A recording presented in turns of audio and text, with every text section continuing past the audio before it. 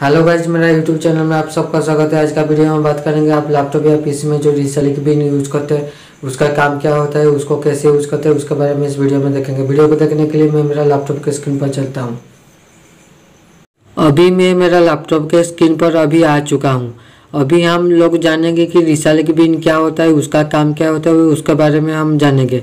आप जो पीसी या लैपटॉप में यूज़ करते हैं उसमें एक एप्लीकेशन होता है रिसालिक बिन ये रिसालिक बिन के थ्रू आप कंप्यूटर में जो कोई भी फोल्डर को डिलीट करते हैं, वो डायरेक्टली डिलीट नहीं होता है। ये डिलीट होकर रिसालिक बिन पर स्टोरेज होता है। इसी को ही रिसालिक बिन बोलते हैं। ये रिसालिक बिन मदद से आप डिलीट पर होकर फिर से री रिस्टोर भी कर सकते हैं। आइए देखिए एग्ज़ाम्पल के थ्रू देखेंगे कैसे ये काम करता है। पहले आप जो कोई भी फोल्डर को डिलीट करना चाहते हैं, इस फोल्डर पर आप क्लिक कीजिए। जैसे कि मैं अभी मेरे जो माई कंप्यूटर या दिस पीसी में एक इमेज को डिलीट करना चाहता हूँ मैं अभी ओपन कर लेता हूँ। अभी मैं जिस जिस फोल्डर में मेरा इमेज है उस फोल्डर को मैं ओपन करता हूँ।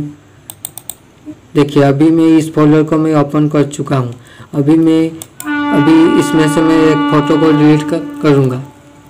अभी मैं राइट क्लिक किया। अभी देखिए मैं डिलीट का ऑप्शन आ चुका है अभी ये फ़ोटो डिलीट हो चुका है।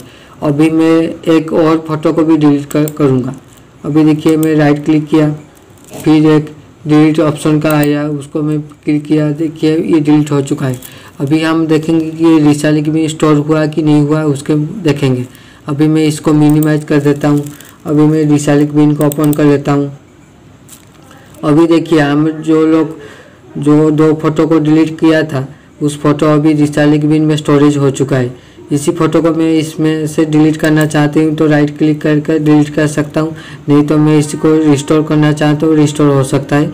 रिस्टोर होने पर मेरे जो गैलरी पर जिस पे फ़ोटो सेव हुआ था ऑटोमेटिकली उस फोल्डर पर ये सब फ़ोटो सेव हो जाएगा।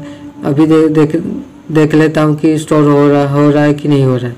अभी मैं इसको रिस्टोर किया, अभी दूसरे फ़ोटो को भी मैं रिस्टोर किया। अभी स्टोर करने के बाद मैं इसको मिनिमाइज कर देता हूँ। अभी मैं जो फोल्डर को ओपन किया था दिस पीसी को अभी ओपन कर लेता हूँ फिर से ओपन करता हूँ फ़ोटो पर जाता हूँ।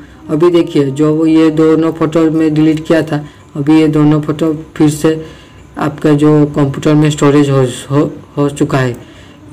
इसी तरह आप रिसाइल की बिन की मदद से जो भी आपका प्रोडक्ट फोल्डर डिलीट हो चुका है उसको आप फिर से रिस्टोर कर सकते हैं। वीडियो को अच्छा लगे तो प्लीज़ लाइक कीजिए शेयर कीजिए और चैनल को सब्सक्राइब कीजिए।